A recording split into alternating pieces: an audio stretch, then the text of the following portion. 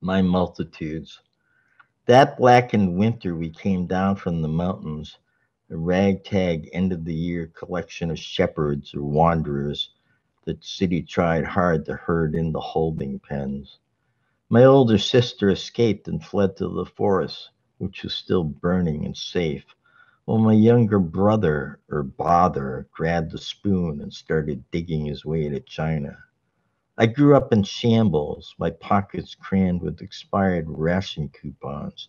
I was a safety hazard, a name spoken only in the dark. I learned to wear shame and call it the color of my skin. Saturday afternoon time wasters formed the basic staples of my ill conceived diet.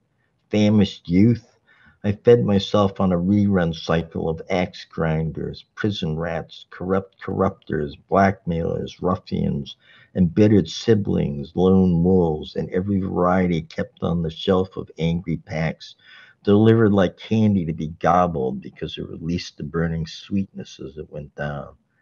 At school, I pretended to watch time droop, drop its noose into a simmering ocean until the screen flashed another enticing signal.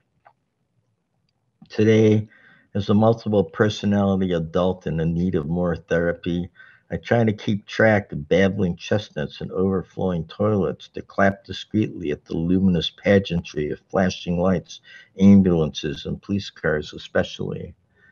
Don't any blips puddle up your screen, I hear you ask rudely? Are you wondering where our furry little scapegoat went and how we might go about getting another? I answer. How's this boatload of strife different from the last delivery, which you're still sorting through? Whimper the cowed crowds filling my head. Today, amidst the crashing voices, my forlorn corpulent self stumbles down darkened lanes, while my other bumpkins and bobbins grow more rowdy beneath the pagoda trees of the infested capital, where the president is content to disguise himself. The mirror listens to his abbreviated confession. He believes he's been miscast as a petty bickerer rather than as a cheerful baker. Never one to glow in the dark, he relishes splendor only when it comes to him in designer packages. He's a self made dam, an impregnable wall. Perhaps this is why you've come to me. Perhaps you're a restless nocturnal spirit looking for an outlet even as the planes soar overhead, their bomb bay doors flapping. What multiple what multiplication system of bleeding have you refused, knowing better offers are a manufactured dream, a byproduct of our continuous distractions? Or perhaps you're another troubled twister who wants to make good. Is that why the words in me are beginning to break ground? Perhaps they're looking for a place to take root, shake off the dust surrounding them. Cold afternoon.